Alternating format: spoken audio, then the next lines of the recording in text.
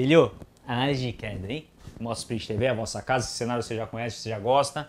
Você deve estar se preocupando sobre os reviews. Os reviews está no canal da Moto Sprint, o link aqui embaixo. Se inscreve lá, dá aquela força, tio Guedinha máximo. Tem talk show, tem análise do MotoGP que tá atrasado. Por quê? O padre, o padre sumiu 15 dias. Aí você tira suas conclusões, né? A gente não pode ir muito além disso. Então deu uma pequena bagunçada, mas tudo tá, tá uma pequena baguncinha, mas tá tudo certo, entendeu? Outra coisa que eu quero falar para vocês é o seguinte: você precisa de transportador a luxo, certo? Carga pesada, transporte rodoviário, tem algum negócio, ou num ramo gigantesco desse, Petone Transportes. Entre em contato com eles, tem aqui o link embaixo também, está escrito lá indicações do Urval. Você vai cair direto na página, já na minha indicação. Então dá essa força porque eles estão comigo e é importante esse together máximo também, beleza? Petone Transportes há mais tempo que você no mercado. Você gostou dessa, né? Tá bom então, maravilha. Petone Transportes, filho. Mostra Sprint TV, Urval Careca, análise de queda. Bom, aqui ó, o Wagner Portela, que deve ser da escola de samba, que tá chateado que não vai ter carnaval, eu acho. Então, mas fica tranquilo, vamos analisar seu vídeo mesmo assim, Portela. Ó, fala Durval, beleza? E aí? Bem, obrigado pelo seu tempo e parabéns pelo canal. Queria compartilhar essa queda em Interlagos num TD, seria Track D, com uma CBR 600F. Esse grid quando solta, malandro, vem no naso, né? Vem forte a essência do campo soviético.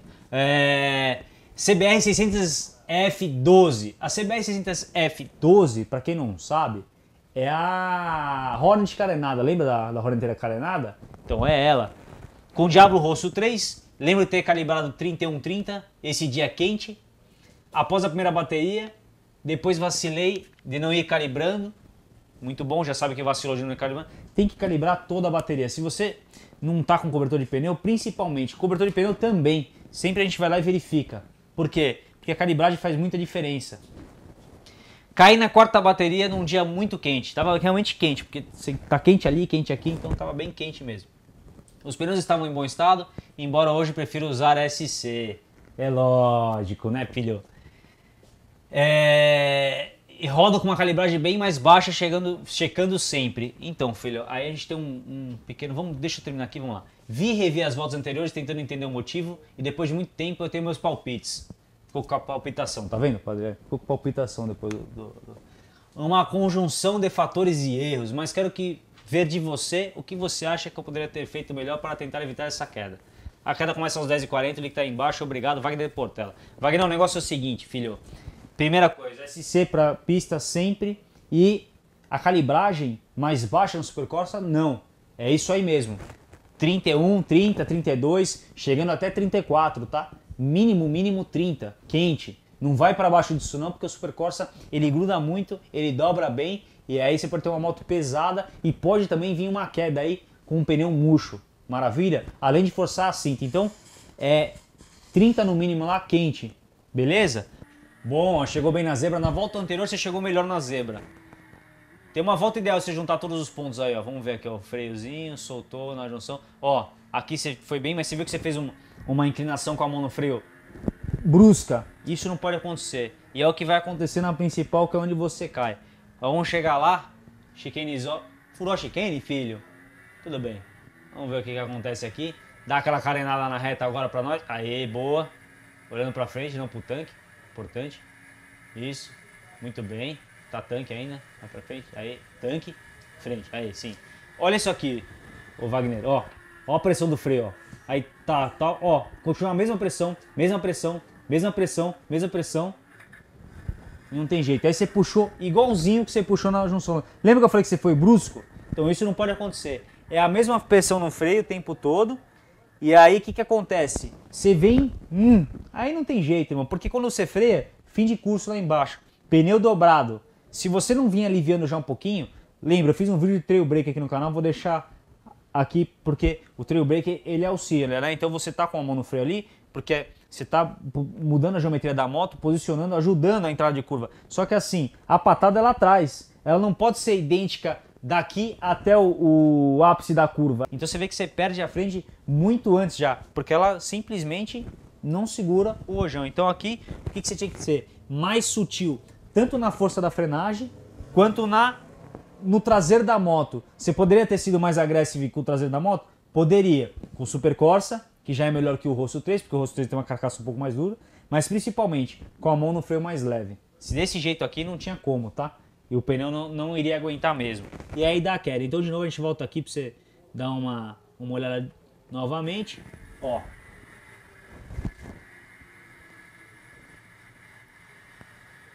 Ó, vamos lá, ó.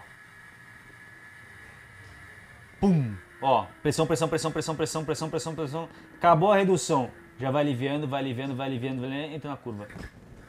Aí já era. Entendeu? Se tivesse feito isso aqui, não tinha dado essa, essa queda aí. Bom, Victor, meu xará, Martins Ferreira da Luz. Mais um que dá luz aí, hein? Análise de queda da Daytona 675R Autódromo de Goiânia. Olá, Durval. Bom? É assim que fala? Bom. Bom? Estou enviando esse vídeo para analisar minha queda no Autódromo de Goiânia. Eu estava atrás de uma BMW 1000, seguindo o traçado dela. Tá errado? Tá errado? O traçado de 1000 é diferente das 600? Tá errado? A aceleração são diferentes, os pontos finais são diferentes. Tá errado? É isso. É isso. É isso. Já sabe o que aconteceu, né? Na última volta, eu me empolguei e acabei esparramando na curva do circuito, na última curva do circuito.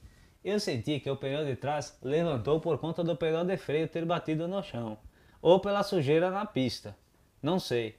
É, deu para ver que não sai, porque se o pedal de freio bate no chão, não poderia ser sujeira da pista. Então você também não sabe se o pedal de freio bateu no chão, porque às vezes quando você levantar a moto viu ralado lá, e foi do rolamento, não foi de ter batido. A calibragem quente 30-30, tá errado também. Não tem que estar tá igualado. Quando tá chovendo, então põe 30-27, 30-26, 32-28. Faz isso. Goiânia, Goiânia, Goiânia no calor é 25, viu, bicho? No mínimo lá. É 25 no mínimo. Então você põe 32, 25, acabou. É isso, quente. Quente. Era a primeira vez andando em um autódromo na vida. E a moto está 100% original, com Super Corsa SP na frente, 120 e 180 atrás. Consegui virar até 1,44,45. Acho que para o novato foi bem. Você acha? Você me cai e você acha que você foi bem? O novato que é bom, ele não vai. Ele vai com a moto inteira para casa. Já entrou errado, com a cabeça de querer virar tempo. Já está errado. Essa é a dica. Fico no aguardo, muitas dicas suas me ajudaram no início de algumas curvas, como Trail Brain. Obrigado pela análise, parabéns pelo canal, eu sou seu fã. Obrigado, Vitão. Eu também sou seu fã. E você, como um fã meu, leve essas palavras para sua vida. Você entendeu? Porque eu queria pegar uma fase filosófica aqui agora, padre, peraí. Porque assim, a vida é uma só. Mas se você fazer o bem, é o suficiente. Puta que pariu. Bom, é, fica com o vídeo aí.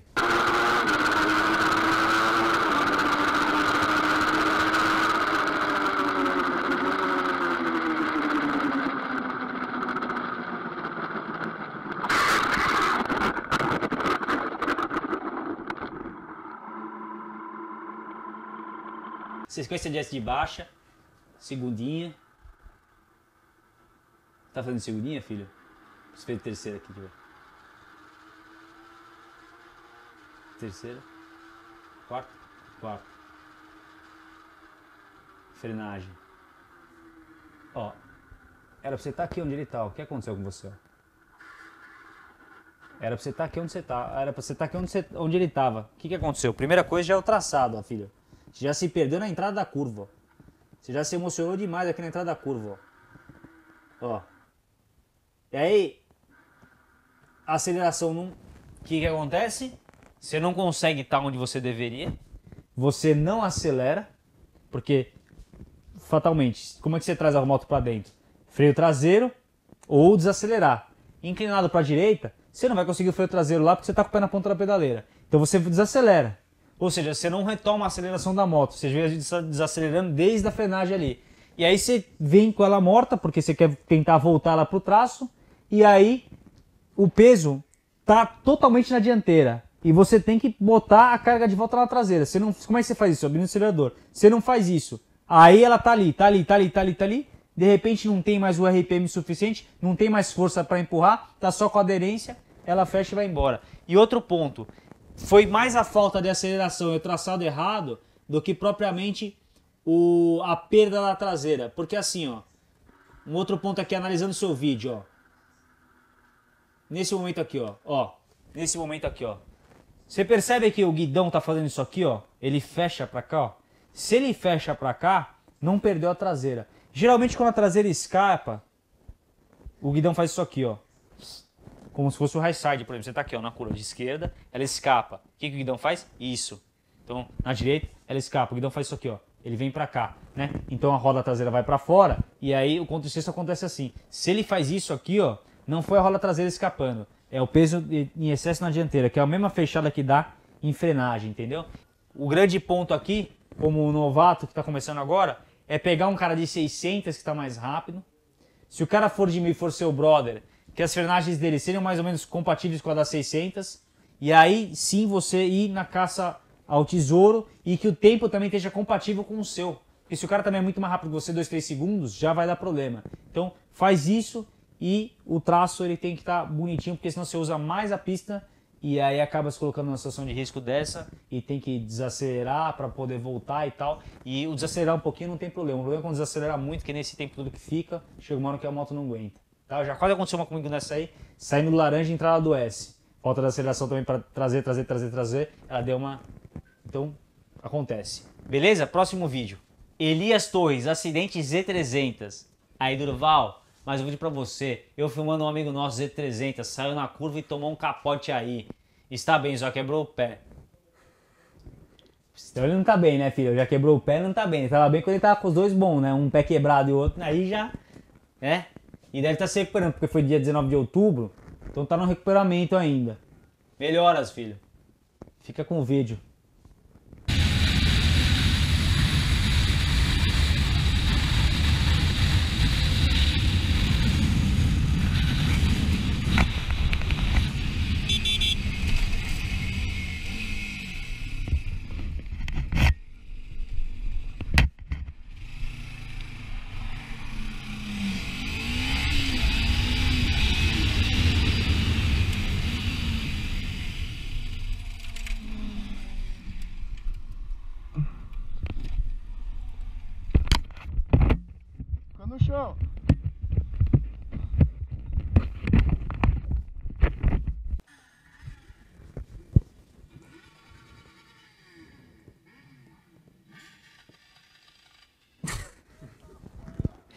Olha o ronco da BM, irmão.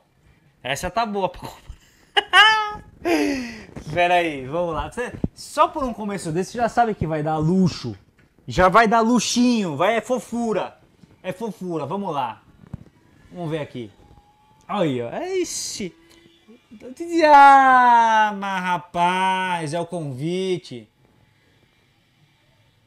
Vamos lá. Cara, passou de, passou de seis motos.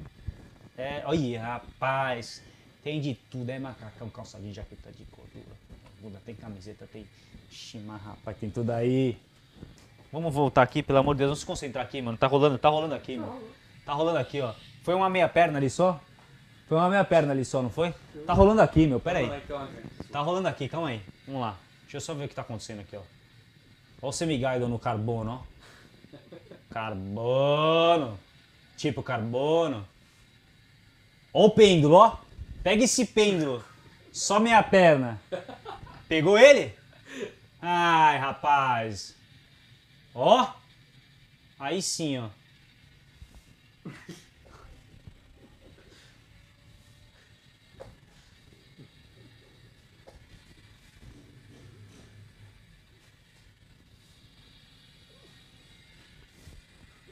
o tronco, não, é só perna. Só Filho, trazer o completinho, né?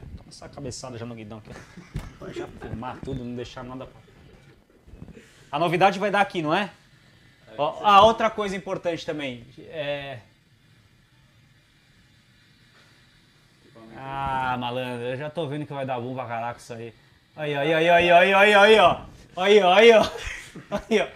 Aí, ó. Ó. Tô falando, velho. Aí, ó. Ô, ô Ericão, Mizuno Wave. Wave, wavezinho. O, é, é, é, Create, Creation. Cadê? Ali, ali, ali, ó. Ó. Cadê? Ah, é nada. Aí, ó. Mano, pega uma bota lá pra gente. Pega uma bota, qualquer uma, pelo amor de Deus. Pera, pera, pera, dá, dá, dá só um take aí. Deixa rolando. Deixa, não, não, deixa eu fazer. Vou ter que dar um take. Não, pera aí, pera aí, pera aí. 18 cavalos de potência. No mínimo, irmão. Nós estamos falando aqui no mínimo. Vou falar uma coisa pra vocês, velho. Importante. Mas é o de mil? Ó, 18 de mil? Ó, esse aqui, Milão. Ó, esse aqui, ó, é muito importante. Sabe aquele pé quebrado? Não correria, provavelmente, com uma bota dessa, tá? Então, este aqui é o equipo de moto. Esse tênis, senhores, é muito importante que eu dar uma esclarecida.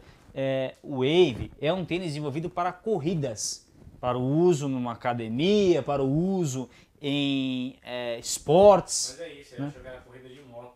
Ah, caraca. Então foi isso.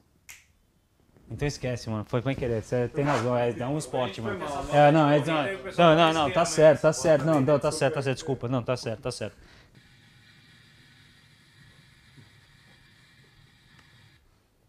Mano, você vê que a lanterna de freio aqui já acendeu? Dá uma olhada aqui uma coisa, ó. Ó. Tim! Aqui, ó. Tá vendo? Tim! Aqui, ó, aqui já se entregou inteiro. Por quê, filho? Porque assim, ó, dessa forma que você tá aqui, é, você não consegue desenvolver uma pilotagem.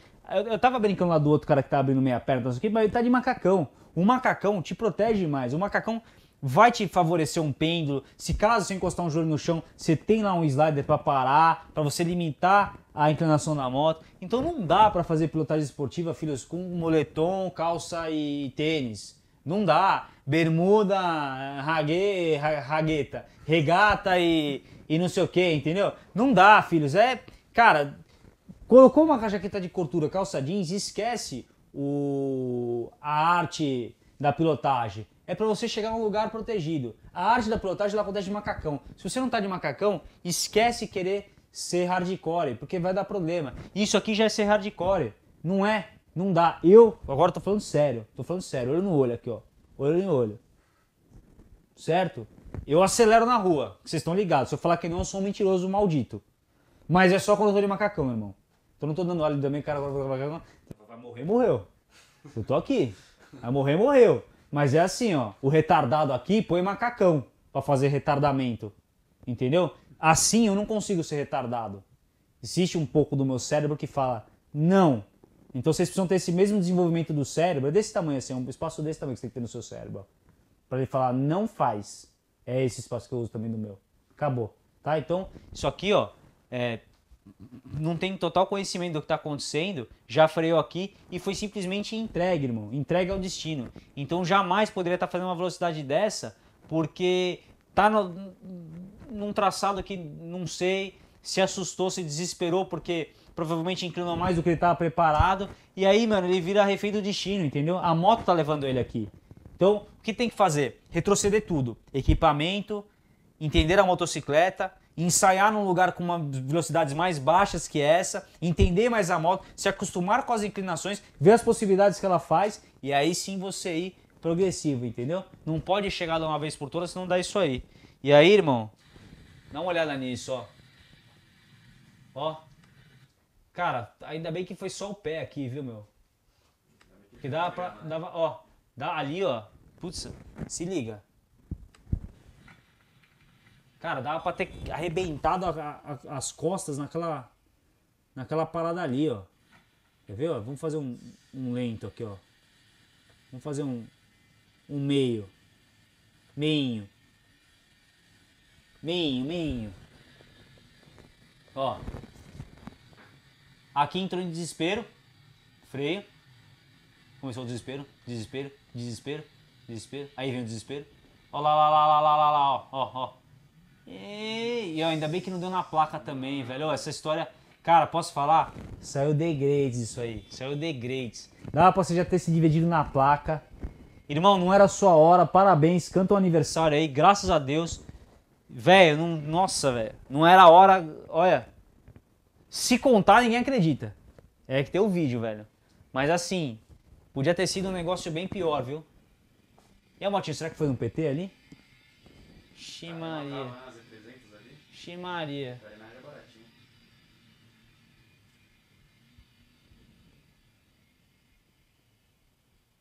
Ah, mano. Quando o tênis sai, machucou. Já falei isso, velho. Quando o tênis sai, machuca, velho. Você pode tomar um tombo. Eu tô falando sério agora. Isso é verdade, velho.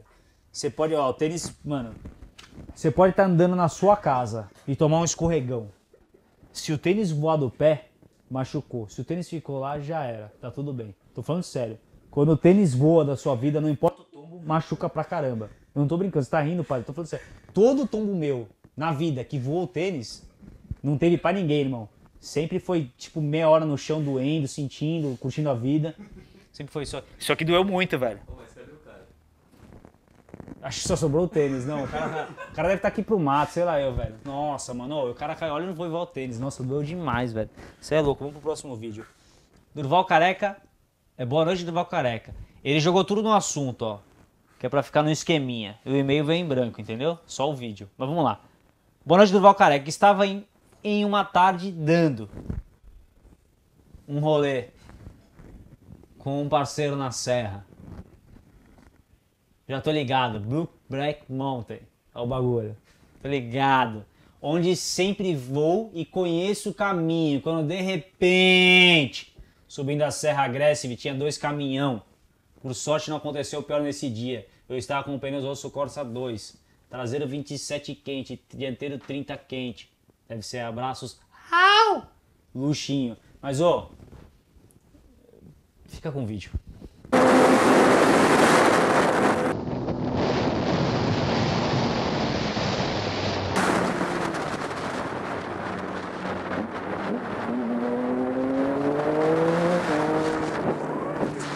De 675, Rosso 2, não dá, né? tem que melhorar isso. Aliás, deixa eu fazer uma pergunta pra você. Que suspensão é essa aqui, hein? Nessa 675. Porque veja você só, vamos fazer aqui uma clareza. Eu tive uma e não era assim essa caiaba. Você tá montado um pouco estrambelhoso, né? Painel da antiga tal. Aí depois vocês me perguntam se a Daytona 675 é uma moto boa de comprar. Aí, já tá com a suspensão que não é dela. Ou será que essa aqui é do modelo novo? Fez um MacGyverzinho nela aqui. Não é a original que é desse ano. Isso não é. Aí o cara vai falar, putz, eu comprei ela assim. Vixe Maria. Então vai. Vamos lá. Não enxergo nada, não enxergo nada, não enxergo nada. Agora eu enxergo um pouco. Filho. Mas aqui se desespero sozinho, né? Mano, essa suspensão aqui não. Que caraca que aconteceu aqui? Depois manda um e-mail me contando essa suspensão, filho. Você pode saber o que, aconteceu aí. Ai. Chegou alto. Ô filho, deixa eu falar uma coisa pra você. Aqui não aconteceu nada, né? Você que não acreditou nessa curva aqui, porque tava tudo bem, ó. Tava tudo bem. De repente você. Pode ser. Pode ser que no ângulo você tava inclinado. A mente deu aquela traída e você achou que o caminhão tava nessa aqui, entendeu? Aí se levantou no desespero e foi pro. pro. pro outro lado. Mas é que eu não consigo enxergar. Quando você tá, quando você tá aqui, ó, não consigo saber o que, que você tá enxergando ali, ó. Porque provavelmente da graminha já dava pra ganhar um- dois caminhões ali. E aí qualquer coisa você dava, já que era pra se assustar, dava uma reduzida um pouco antes, né, velho? Eu não sei o que, que, que, que tava acontecendo aqui, porque não dá pra enxergar muito, mas dá pra dar uma ganhada no horizonte ali, aí te diminui um pouco antes, já que, você, que a mente vai dar aquela enganada, você não sabe se o caminhão tá pra cá ou pra lá, pra não dar isso aí, entendeu? Porque aqui, se você tivesse mantido a sua trajetória, você fazia numa boa ali. É que você entrou em desespero e nada aconteceu, graças a Deus. Né? Mas assim, e graças à tua frieza também de vir pra cá e tal. Malandro, mas, nossa, que apertadinho, velho. Cai na guia lá já. Vixe, tá bom. Tá tranquilinho. Tranquilinho. Então, filho, aí é, eu acho que vale a pena o cuidado de a estrada, por mais que a gente conheça, é aquilo que eu falo. Ela muda constante, cara. É um caminhão que sobe, é um cocô de cachorro, é um cavalo que atravessa. Tal. Por isso que quando eu vou lá nos meus trechinhos, eu limito o espaço. Eu passo umas outras vezes e limito o ponto que eu vou acelerar. Eu só acelero onde eu tenho certeza, mesmo na incerteza da rua. Mas é só onde tem certeza, entendeu? Então vocês têm que fazer, porque senão, numa dessa, cara, você ia lá pra baixo e o caminhão não fez nada. Entendeu? Então tem que tomar cuidado com isso aí. A mente engana, meu. De longe ainda, você não, não consegue ter uma. Ainda mais vindo inclinado, preocupado aqui e tal, trabalhando, entendeu? Então tem que ter essa atenção.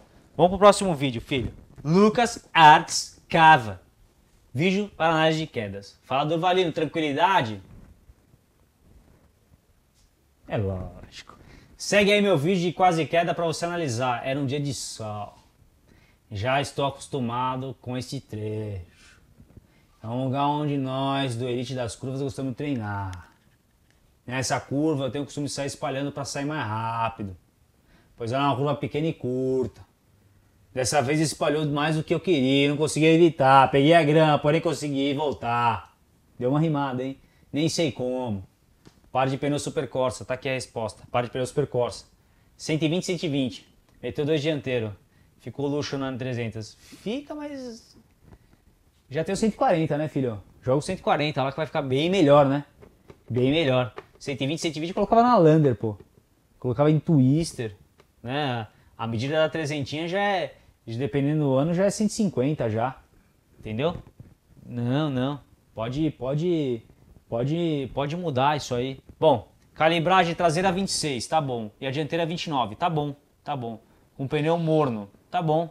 Pega alguns KM lá. Não, beleza, tá bom. Só acho que tem que mudar a medida aqui. Tem que botar a medida 140, que vai ficar um luxo. E aí divertir, entendeu? Acho que esse é o primeiro ponto aí. E o Super Corsa é uma mãe, mesmo sendo dois dianteiros. Mas, cara, põe a medida normal aí. Fica com o vídeo.